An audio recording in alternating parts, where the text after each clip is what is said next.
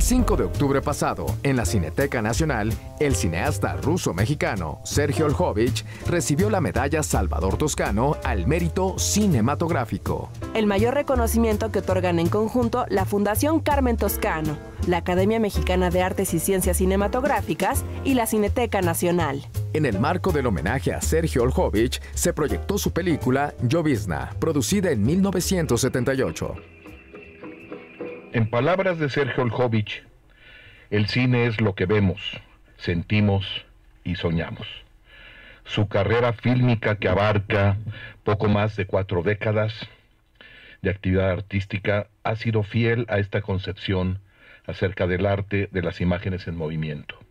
Hoy nos reunimos con muchas ganas y gusto para reconocer la trayectoria de Sergio Oljovich con el máximo, pues, digamos, galardón que otorga la Cineteca Nacional la medalla Salvador Toscano al mérito cinematográfico en su edición 2014.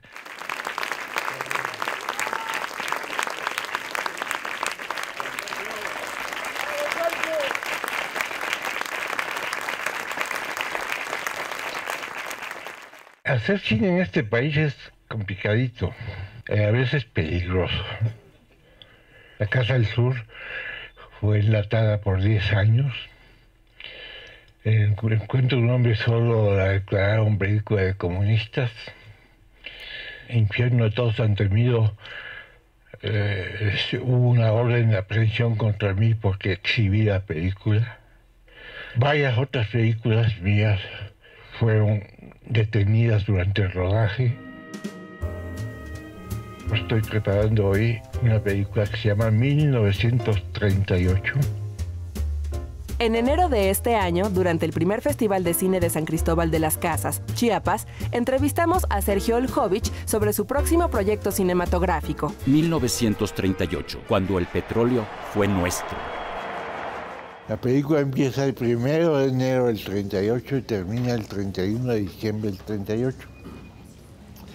Antes del 18 de marzo vemos cómo se desarrollan los acontecimientos, las empresas extranjeras contra los sindicatos, eh, el laudo de la Suprema Corte en contra de las empresas extranjeras y finalmente cuando ya no hay forma de negociación, el presidente Lázaro Cárdenas junto con el general Mújica deciden expropiar.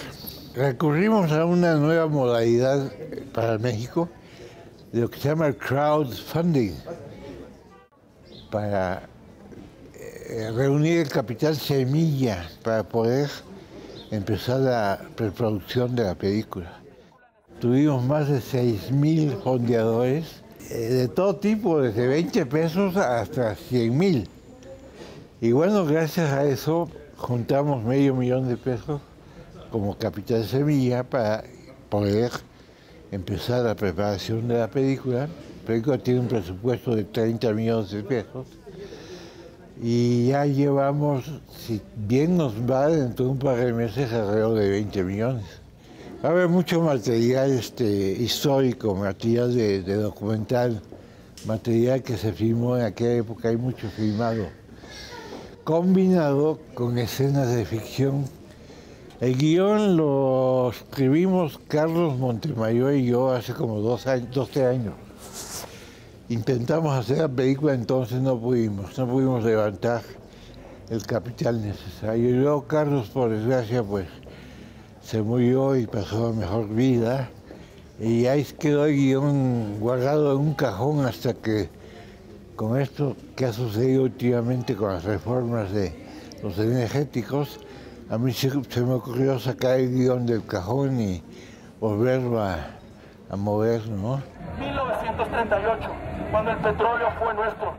La premiación más importante que podría yo tener es que se me permite filmar.